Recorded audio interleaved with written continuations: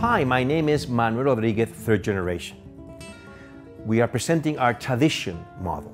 This is the woods we used to use, my family, in 116 years for the Spanish guitars.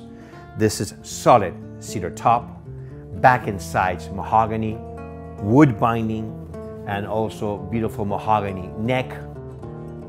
Of course, Hannabach strings, and also this beautiful armrest for better sounding of the instrument. On this Tradicion model, we also have small scale guitars.